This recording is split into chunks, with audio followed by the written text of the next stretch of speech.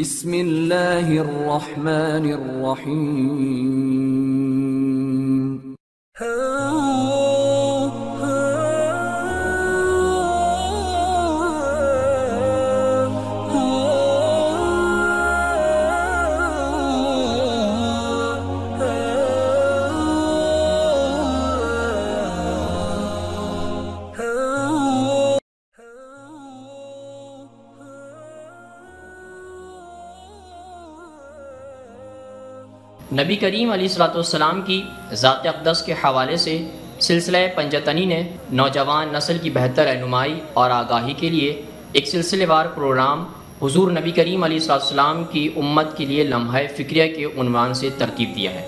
आज इस सिलसिले की अगली किस्त का हम आगाज़ करते हैं।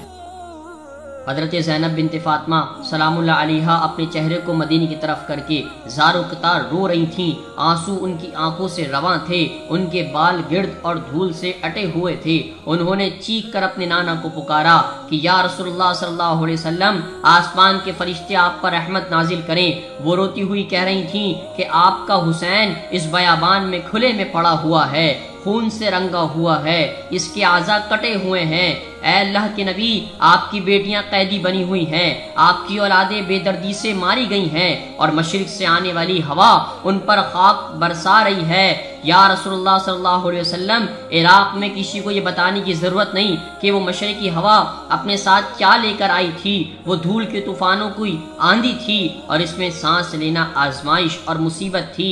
यहाँ तक कि शिमर दिलजोशन के सिपाहियों ने उनकी बात सुनकर शायद तौबा की हो, या कम अज कम उनमें से कुछ ये दावा ज़रूर करेंगे, क्योंकि उन्होंने अपने आप को भी बचाना था। हालाँकि ये बात किसी तौर उनके उनके जुल्म सितम को ख़त्म नहीं कर सकती थी, और उनका यही खौफ आगे चलकर उनके लिए दर्दनाक मौत का पेशा खैमा बन जाएगा। मोज़ दोस्तों, आज की गुफ्तु का अख्ताम हुआ। इन कल आपसे फिर मुलाकात करेंगे।